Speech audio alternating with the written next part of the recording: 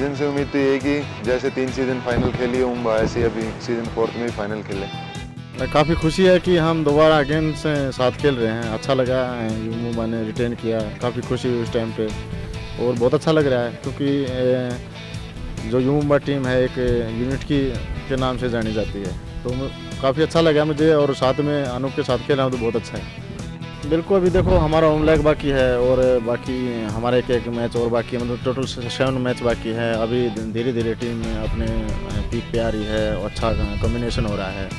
तो जैसे जैसे मैच आगे बढ़ेंगे, हम अच्छा ही करेंगे और हम फाइनल खेलेंगे, पक्का ही खेलेंगे फाइनल देखिए, महत्वपूर्ण तो कुछ भी नहीं है, बट ये है कि थोड़ा सा हैंडल करना नए प्लेयर हैं सभी चेंज होगी टीम तो थोड़ा मुश्किल होता है, पर इतना ज़्यादा मुश्किल नहीं जूनियर है सभी। सभी बात मानते हैं, अच्छे से एक बार जो बोल देता हूँ, वो कर भी लेते हैं। और सीनियर राकेश सीनियर है, बहुत ज़्यादा मेरे से भी सीनियर है। जीवा है तो इतनी ज़्यादा कोई प्रॉब्लम नहीं है। बिल्कुल, देखो, ऐसी कोई बात नहीं है। वो अब भी हम उनके टच में हैं अभी वो कॉल करते हैं या हम पूछते हैं बेस्ट लोग बोलते हैं। तो अब भी हमारा अटैचमेंट ऐसी बात नहीं है टीम चेंज हुई है, हमारा दिल थोड़ी चेंज हुआ है, वो हमेशा हमारे दिल में रहेंगे। ऐसा तो देखो कोई ध्यान नहीं बाकी प्रैक्टिस के बाद थोड़ा हँसी मज़ाक मार पिटाई ऐसे मतलब हँसी मज़ाक में मार पिटाई कर लेते हैं थोड़ा बहुत उनके साथ। मैं तो नहीं मैं हालाँकि मैं ही मारता हूँ उसको लेकिन मैं इतना ज़ोर से नहीं मारता जितना ज़ोर से ये मारता है। इसने दो तीन बार उसको मारा है ज़्यादा ही मतलब ज़ोर से मारा है लेकिन फिर भी वो जितना ज़ोर से उनको लगा है उनको वो उतने ही प्यार से उन्होंने हैंडल किया। वो खुश हुए इस चीज़ से कि हाँ भाषा हमारे साथ हँसी मज़ाक करते हैं, चाहे वो मारपीट से करे या वैसे बोल के करे। तो अच्छा लगता है उनको भी ऐसा। देखिए, पटना टीम काफ़ी अच्छी टीम है और जिस टीम के साथ अगर हार जाती है कोई टीम, हमें नहीं, कोई भी टीम तो वो सोच के ज़रूर जाती है ग्राउंड में कि यार पहले हम इससे हार चुके हैं, अब की बार इसको पक्का हराएँगे। ये दिल में रहती है और हमारे दिल में भी थी, अब की बार मैच हुआ तब भी थी कि पटना ने फाइनल में हराया था। और ये सोच के गए भी थे, मगर अब की बार जीतेंगे पक्का। पर वो ये कि हम थोड़ा कहीं ना कहीं लूज खेल गए, वो थोड़ा हमारे से अच्छा कर गए, इस वजह से जीत गए। बाकी आगे कोशिश फिर यही रहेगी कि हम लोग उनको हराएँ। एक्चुअली क्या है पूना के साथ पूना बहुत अच्छी टीम है ऑफेंस और डिफेंस अच्छा है। डिफेंस हमारा भी अच्छा था रेडरो ने काफ़ी स्कोर दिया, उधर से ऐसी बात नहीं, लेकिन जो हमारा डिफेंस था वो थोड़ा लूज खेला। हमने अजय को मतलब एडवांस टैकल करने की कोशिश की, जिससे मतलब भारी नुकसान हमें झेलना पड़ा और इतने मार्जिन से हमारी टीम आ रही है बाकी ऐसी बात नहीं है कि देखो, खिलाड़ियों से गलती होती है और गलती से ही सब सीखता है, सबक लेता है। तो हमने भी उससे सबक लिया है कि हमने कहाँ गलती की, कैसे हमारे इतनी बुरी तरह से रहे कभी नहीं रहे थे पुणे से और सेकंड मैच में हम इतनी बुरी तरह से रहे तो कहाँ गलती हुई? है तो उस सारी गलती जो हुई हैं, उसको वो आगे ना हो, इसका प्रिपरेशन हमारा चल रहा है। और नेक्स्ट मैच हमारे होम लेग में है तो वहाँ हम इस गलती को मतलब जीत से वो करना चाहेंगे।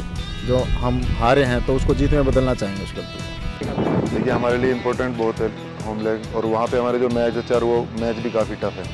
तो कोशिश ये रहेगी जो हमारा रिकॉर्ड पैसे पहले से मेंटेन है, जो उसको मेंटेन रखने की कोशिश करेंगे।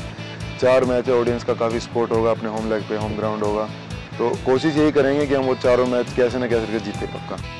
शायद ऑडियंस का सपोर्ट इतना मिलता है, उनका प्यार इतना रहता है, उनकी दुआएँ इतनी रहती है कि हम हारते ही नहीं। देखिए, ये इसमें हमारे कोच जो हैं, वो बोलते हैं, ज़्यादा से ज़्यादा मैं अगर ग्राउंड पर रहूँ तो ठीक है, थोड़ा सा टीम हैंडलिंग के लिए। तो उस दिन रिशांक स्टार्टिंग में थोड़ा चल नहीं पाया। तो मैंने कोशिश की तो मुझे पॉइंट मिलने लगे और पॉइंट मिलने लगे तो मैंने अपनी हेड कंटिन्यू कर दी।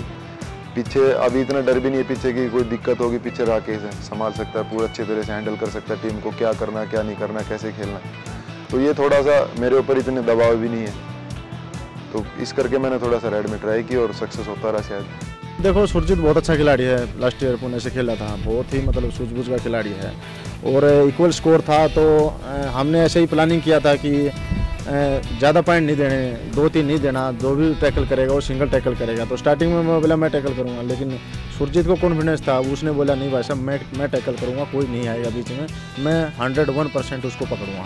मैं हंड्रेड वन परसेंट उसका टैकल करूँगा। पूरा कॉन्फिडेंस उसको पूरा कॉन्फिडेंस था। तो हम बोले ठीक है कोई नहीं आएगा।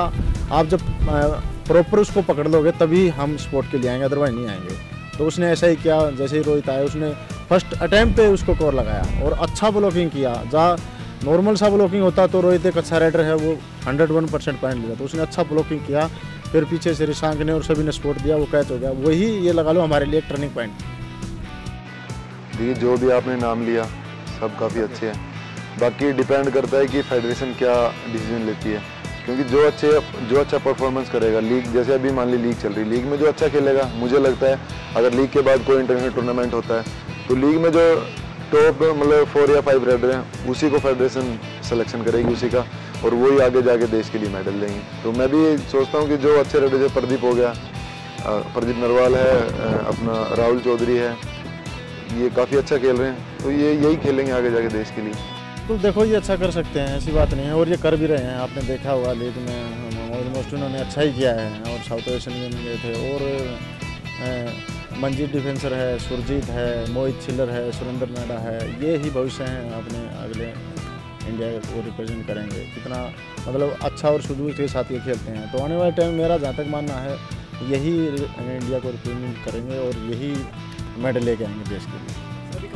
रिक्रेशन कर लेते हैं, थोड़ा वॉलीबॉल वगैरह हुआ हैंडबॉल हुआ, ऐसा कुछ रिक्रेशन टाइप में गेम खेल लेते हैं और बाकी गेम नहीं खेलते, ऐसे बैठ के थोड़ा सा मज़ाक कर लेते हैं। बस प्रिपरेशन ये है कि अच्छी प्रैक्टिस चल रही है सुबह शाम दोनों टाइम है जो वॉच करके हम, जिसके साथ में हमारा मैच आता है नेक्स्ट तो उसकी प्लानिंग करते हैं और अच्छा प्रिपेयर चल रहा है। और बस बस हमारा यही फोकस है कि यूम्बा तीन सीज़न से फाइनल खेलती आई है, बस उस ट्रेंड को बरकरार रखे और जीत को बरकरार रखते हुए फाइनल तक जाए।